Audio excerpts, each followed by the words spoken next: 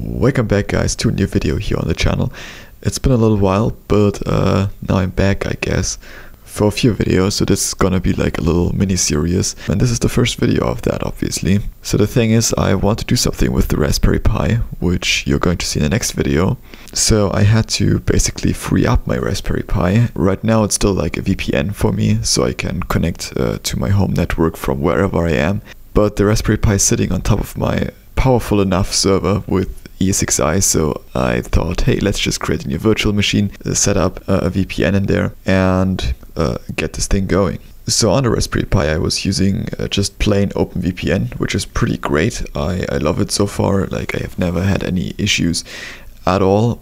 But I uh, found another bit of software which actually does use OpenVPN in the backend, but has like a nice web uh, web UI for well, easier creation of uh, VPN connections. So we're going to take a look at that now, uh, the installation and setup.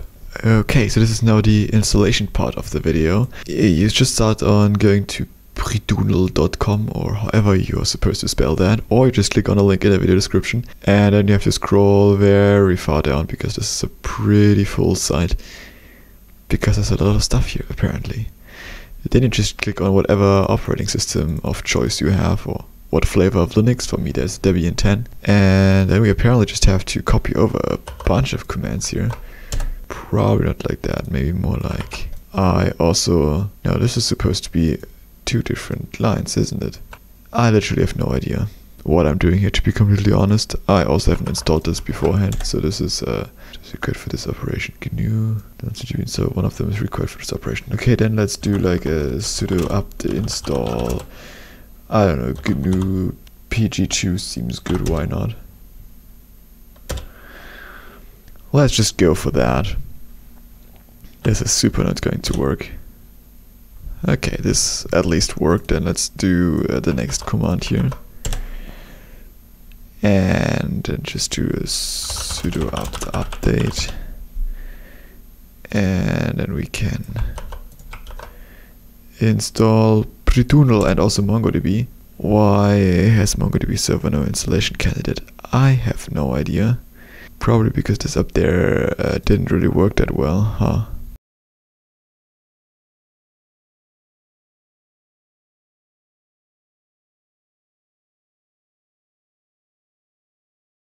Dependency problems prevent configuration blah blah mongodb org on libcurl. For yeah then just i don't know maybe install that. Maybe that was the reason why uh it wasn't working. Is it now uh sudo service? That is all. We should have mongodb in here now yeah, we don't. Maybe we can do like, I don't know, start.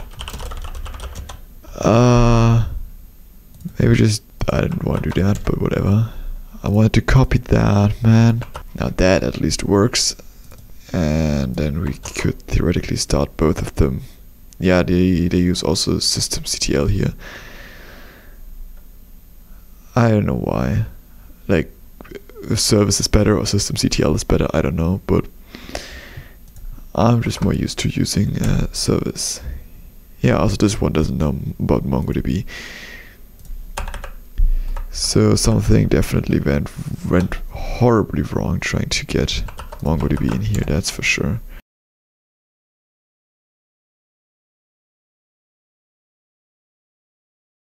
Uh, maybe MongoD. That definitely looked a little bit better, I think. Maybe this is just now Mongo D and not MongoDB. I mean, on my system, I also use MongoD and not MongoDB. Okay, maybe we should just also just like, I don't know, restart both of them so everything, uh, eh, yeah, MongoD restart. So come on, you can do it. I believe in you. And yeah, that looked pretty well. So now we should be able to go onto the web interface and I am going to accept the risk and there we are we can log in with Pritunl.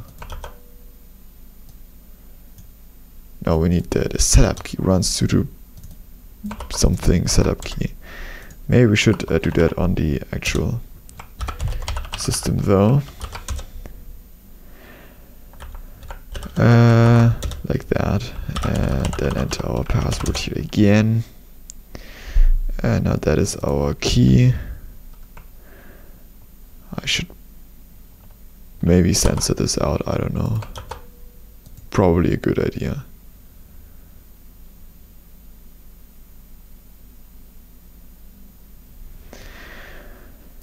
Yeah, yeah, I'm uh okay now please do the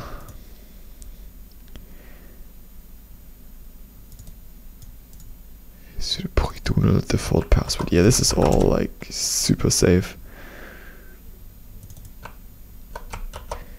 Yeah, that's secure password. Okay, so there we are. We can now do our initial web setup, which I'm going to be doing now real quick. Okay, now I uh, did some initial setup or something, I don't know. At least the thing that was asked of me. Yeah, and the settings that I should blur or whatever. Um, yeah. Now let's go through here and try to connect or something. So we have no no organizations, no users, and no servers. Maybe we should add an organization first. Yeah, let's just name that, I don't know, default. I don't plan on like running multiple organizations because that is, I think, a little bit overkill for what I'm trying to do. Then I'll use this organization. Okay. Add user maybe. Okay. Okay, now we have a user here for me. And we can disable disconnect user. We can organization must be attached to server to download profile. Organization must be attached to server to get temporary profile links. Yeah, it seems like we now need a server here as well, so let's just add a server. Default, I don't know, uh, also enable enable that, and yeah, I don't know, enable Google Authenticator for something. Oh, now we have a server here, that's uh, brilliant. Status offline. Service of an organization attached. Okay, let's attach an organization default. Yeah, that looks good. Now we can start it. Okay. Online uptime. Basically nothing. Zero out of one users online. Zero devices online. Network, blah blah, port, multiple devices. Yada yada yada. Okay.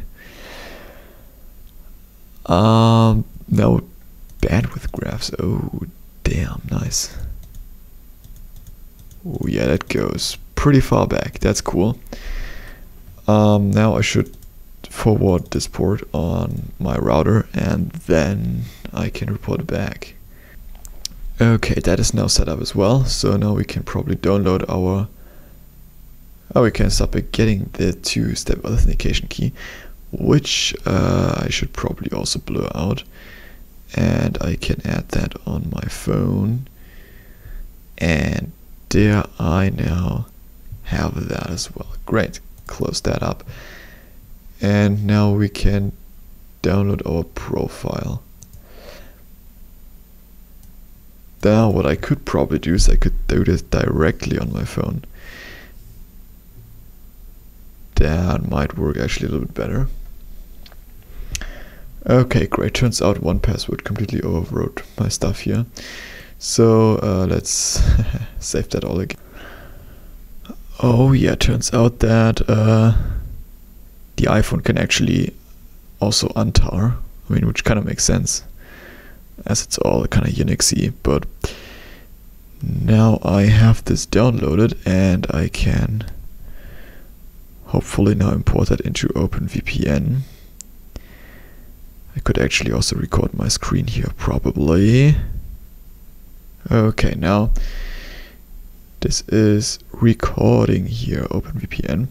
So this is my uh, existing profile in there. I can add a new one.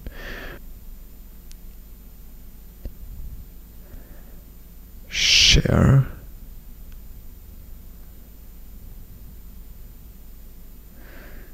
Uh, in OpenVPN. Okay.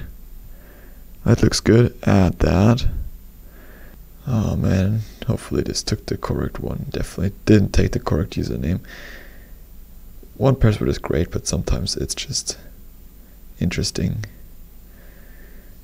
Uh, let's rename this here as well and just call it how I called my server. Okay, so save. And now it's time to disconnect our Wi-Fi and then connect this.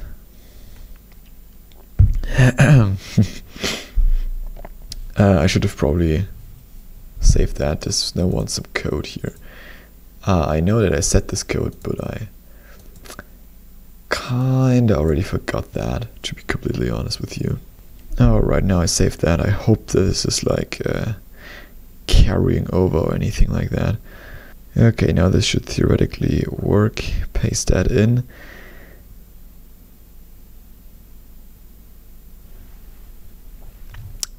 Is that doing anything? I have no idea. Let's take a look here at Pritunl dashboard. No one is online yet. User auth failed challenge OTP code. Ah, user authentication failed. Yeah, that's not good. Oh, yeah, this used the completely wrong username again. Okay, let's try again. Enter our code. Or maybe we have to enter like our two-factor authentication code in there. I don't know.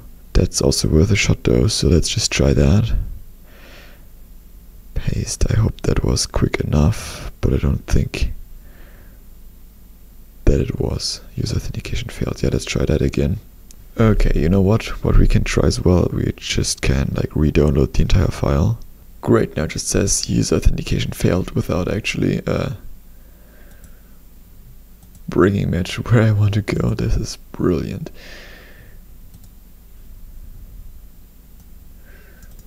Oh, too many authentication attempts. I think I just uh, did a thing. Great, I think I just completely broke it, yeah. Okay, so a few weeks now went past and it's uh, working now basically. So I did change some things around. I, I read through through things. So uh, basically, I was a bit confused about the uh, the password and this code that I had to enter all the time. Basically, the password is just the, the pin that you set on the on the web interface. And this code that you then have to enter each time when you connect, well, that's just the code from Google Authenticator. Now I figured this out, now it's working properly. So another thing that I now did is I also moved the no IP client over to the VPN uh, VM server thing, I guess. Um, yeah, so this is uh, for NoIP, which is dynamic DNS uh, service. So this basically lets me get the IP address of my home network all the time because, well, that's dynamic, so that changes potentially every day, and you don't want to like edit that. It's kind of impossible to do that every day, right? So that's what DNS is for. For like more explanation how this all stuff works, I can recommend you to watch the uh, video where I installed the Raspberry Pi with VPN, uh, which is linked in the video description down below. But so far that uh, is it. I'm pretty happy with the new setup. Thank you guys for watching. See you all very soon in the next few videos here. Until then, have a great time. See you all then. Bye bye.